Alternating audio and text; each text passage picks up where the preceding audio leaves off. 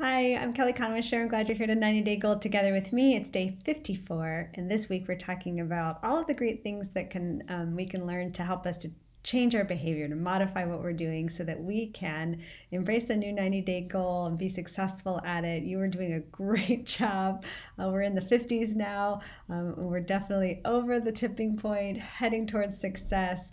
Um, and so we're just talking about ways in which, um, if you're getting tired or it's getting hard, what are the ways that, that we can think about getting back on track and getting motivated? And we're looking at that through the metaphor of a rider and an elephant in a path that Chip Heath and Dan Heath uh, put out in their book Switch. And one of the greatest takeaways from the book that um, has really helped me in my life is the idea of looking for the bright spots. When we're thinking about changing behavior, we often do that from a place of this isn't working for me. This is really broken or hard. I don't like this, so I'm going to change my behavior.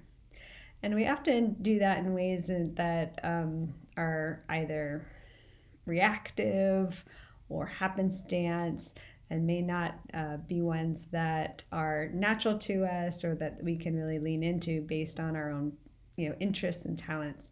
But what they talk about in the book is one way to really be more successful in changing your behavior is to look at ways in which you're already succeeding not everything in your life is broken or hard. And there are times in your life, maybe right now or maybe in a different chapter in your story, in which you have been very successful in accomplishing a goal or creating a behavior change. And the question I have for you is what was in the picture during those successful times? In other words, what are the bright spots that you can focus on for motivation? Also, we want to look at bright spots in terms of what do we know really works.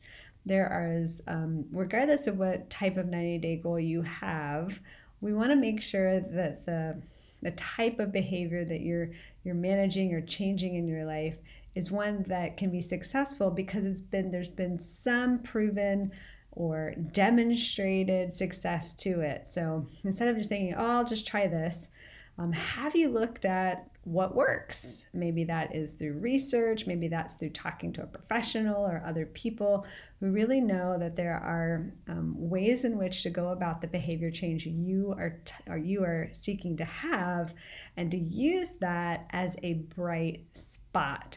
So this is a great takeaway. It's a wonderful um, idea from the book that I've modified here to help us with our 90 day goal. But, but definitely don't just focus on the things that are broken or hard or not working. Definitely don't just try to go at it randomly. Instead, look at the ways in which you've been successful in the past. What, what were those? How do we understand those and put those into our system right now? And what do we know works um, in the one thing? information that we have that we know this works, well, how does that apply to us and align with the behavior change that we're seeking to make as we stay focused on a singular 90 day goal? So go for those bright spots. I'm Kelly Kannwischer, Kelly at futurechurch.co. Um, look forward to hearing from you, and I will see you next time.